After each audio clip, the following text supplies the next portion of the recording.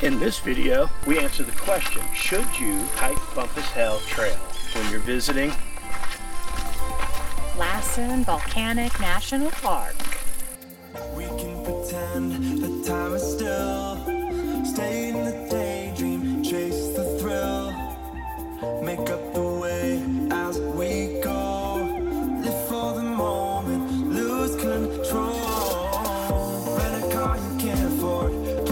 That we both know. Let your hair out in the wind. Put the pedal to the floor. Flame your light and take a smoke. Put your broken rip off wafers on. Doesn't matter if the sun goes down. We'll still be up, still be up. Don't care about the place we found. We'll still be up, still be up. We're in this together. We both fall down. Doesn't matter if the sun goes up. Cause we will still be high when the lights out. Hey, you guys! Thanks for joining us on another journey. Today, we're in California at an Unknown National Park. At least I'd never heard of it. Lesser known. We're in Lassen National Park in California. If you're new to the channel, this is April, Hey, and I'm Wayne. We do a video every Thursday, so hit that subscribe button and smash that bell. So sit back, relax, and enjoy the journey. We're out here hiking the Bumpass Trail. bump ass. That's what she's been calling it. It was more fun. True. We're in Lassen Volcanic National Park, California. And it's windy, breezy, Yeah. But beautiful. much nicer than the temperatures back in Redding. Yeah. Redding was like 103 today. It's about 69 degrees when we left the car. We're also at 8,000 feet. 8,500 feet, actually. Maybe even a little more. Yeah, we keep going up, so we're probably getting higher. We did our due diligence and took our little aspirin, and we didn't drink alcohol last night, so hopefully we, won't get altitude sickness like we did before. That's just a tip for you. Taking an aspirin when you're hiking at, you know, high Before. elevation. Yeah, before you get to the trails. It just thins the blood out enough to where you, uh, you're safe. Drink lots and lots of water. Lots of water. That's Lassen Peak. We wanted to go do that trail, but it's uh it's a moderate to strenuous five mile hike in April. Strenuous. Okay, it's a strenuous hike. And I am hiking with an injury. The Bumpass Trail has a steady incline, so there is some elevation gain on this. 443 feet of elevation gain on the Bumpass Trail. Yeah, just a steady incline. It's not straight up and down, so that makes it easy. Beautiful views all the way. Wear lots of sunscreen, uh, meaning apply beforehand and then apply, reapply, and reapply again. Hats are a good idea too. I left mine in the car. I wanted to wear a ponytail and I can't wear my hat with my ponytail.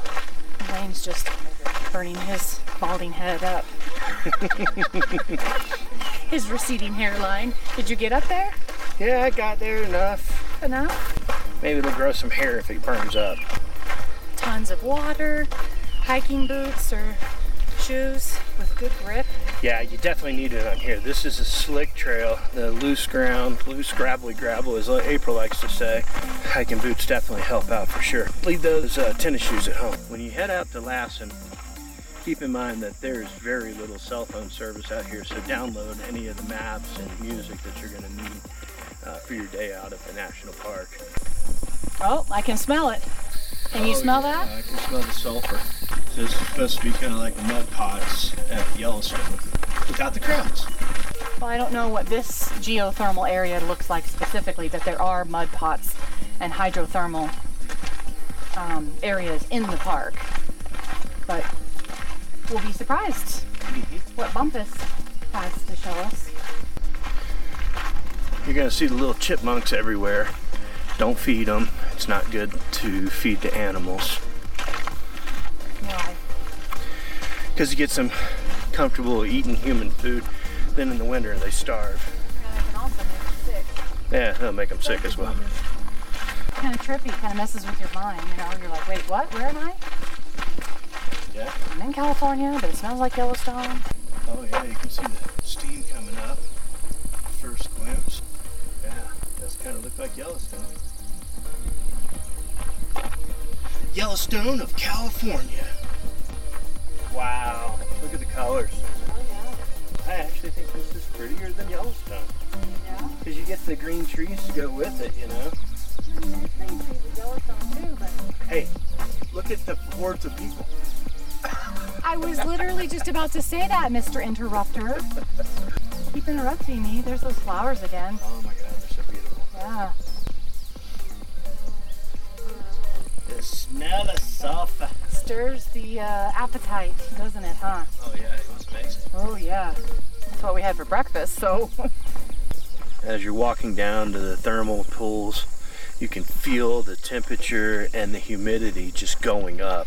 It was interesting to learn about the man who discovered Bumpass. He wishes he had never found it in the first place. Kendall Van Hook Bumpass was a hunter, cowboy, and prospector, discovered the area in 1864 while looking for some stray cattle. During his first visit, he broke through the thin crust of the earth and burnt his foot on the boiling mud pots. After he got back home, and others asked him where he'd been, he replied, Boys, I have been in hell. A local newspaper editor heard about this story and asked Bumpass to take him to the area, so Bumpass did, and this time he again broke through the crust and burned his leg so badly that he had to have it amputated. After he returned from that trip, he explained to the locals, The descent to hell is easy. You get it, right?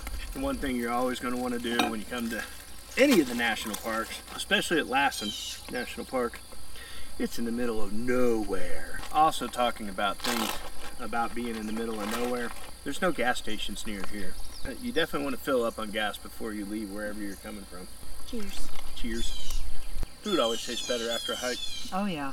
Turkey sandwich at home is just like, yeah, okay. Out here, it's like, yes, Yeah, it's the best thing ever. We were eating lunch at the walk-in campground, the south entrance. Thought I'd give you a quick talking point. You see, you can gather wood from the area. Please do not bring any firewood from home. If you do need firewood, then buy it on site Or pick it up off the ground. or pick it up off Don't the pull it off of a tree Yeah, don't pull it off of a live tree or dead tree. or a dead tree, exactly. You don't want to burn firewood from your house, as you might have different bugs that will destroy the forest here.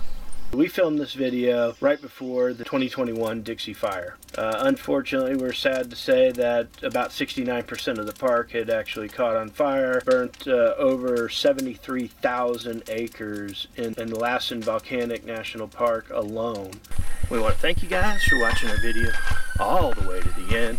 If you would, hit that subscribe button, share it with a friend, and like always, thank you for living life.